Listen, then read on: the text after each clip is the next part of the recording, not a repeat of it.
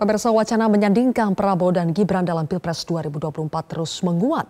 Prabowo menyebut Gibran berpeluang tampil dalam pentas politik nasional karena kehendak rakyat. Benarkah tampilnya Gibran dalam Pilpres 2024 murni karena kehendak rakyat atau bagian dari skenario melanggengkan dinasti keluarga pejabat? Gimana kalau kehendak rakyat? Ya. Ini, ini kita tidak bicara kehendak elit, tapi ini kalau ada dukungan dari rakyat, Anda sendiri dengar di hanya mengikuti kehendak rakyat. Itulah jawaban baca pres Prabowo Subianto saat ditanya mengenai wacana berpasangan dengan putra sulung Presiden Joko Widodo. Belakangan, nama Gibran Raka Buming Raka memang tengah menguat sebagai kandidat cawapres Prabowo. Dalam bursa cawapres pendamping Prabowo, nama Gibran bersanding dengan sejumlah nama kandidat yang diajukan parpol peserta Koalisi Indonesia Maju. Sebutlah Erlangga Hartarto yang diajukan Partai Golkar atau Erick Thohir yang diusung PAN.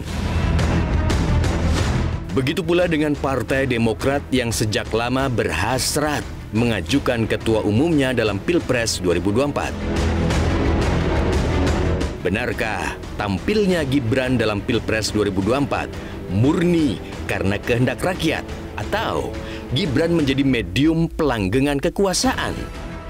Pekan ini, Ketua Umum PSI yang baru yang juga adik kandung Gibran yang juga putra bungsu Presiden Joko Widodo, Kaisang Pangarep, menyambangi kediaman Prabowo.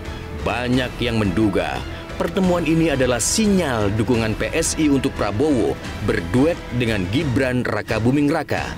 Namun PSI menepis sudah menentukan arah dukungan dalam Pilpres 2024 bahwa kami terus berusaha menyerap aspirasi-aspirasi dari berbagai pihak dan juga termasuk yang terutama adalah dari struktur kami baik itu di tingkat provinsi, kabupaten kota hingga tingkat kecamatan kita lihat aspirasinya seperti apa. Karena sampai saat ini seperti juga kita ketahui bahwa belum ada calon wakil presiden yang akan dipasangkan dengan baik itu Pak Prabowo Subianto ataupun Pak Ganjar Pranowo. Jadi sampai saat baik. ini memang belum ada keputusan final dari PSI terkait itu. Sebelumnya, Kaisang sempat memberi sinyal akan mendukung Gibran jika tampil dalam Pilpres 2024 wali kota ya kalau Pak wali kota jadi cawapres ya lagi kita uh, saya harus fair saya harus mendengar aspirasi dari seluruh teman-teman di PSI di DPD DPW semuanya Wacana Gibran berpasangan dengan Prabowo terus disoroti di tengah agenda Mahkamah Konstitusi yang akan membacakan putusan uji materi syarat usia capres-cawapres esok hari. Lembaga Perludem menilai putusan MK akan menjadi pembuktian independensi apakah MK terjebak pada kepentingan dan menjadi perpanjangan tangan politik dinasti. Nah, jangan sampai kemudian di putusan ini Mahkamah Konstitusi tergelincir mengubah sesuatu yang bukan menjadi kewenangannya itu menjadi seolah-olah otoritas MK menyatakan soal umur. Senada, Sekjen PDIP meminta Hakim Konstitusi untuk bersikap kenegarawanan dalam memutus perkara batas usia Capres-Cawapres. Hasto bahkan menyinggung soal pemerintahan otoriter di era Orde Baru. Ketika suara rakyat tidak didengarkan, maka yang tampil adalah kekuatan moral, kekuatan politik kebenaran. Maka kami meyakini Mahkamah Konstitusi juga mendengarkan seluruh aspirasi yang disuarakan rakyat.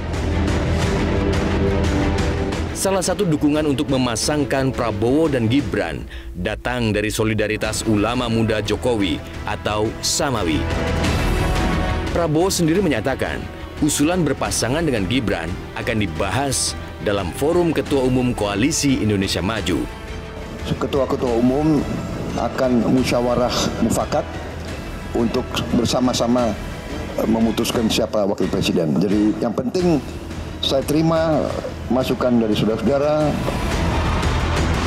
Analis politik menilai, jika Gibran akhirnya berpasangan dengan Prabowo, Jokowi akan dilabel sebagai pemimpin yang melanggengkan politik dinasti. Jadi restu Pak Jokowi akan mengkalkulasi potensi kemenangan itu paling penting.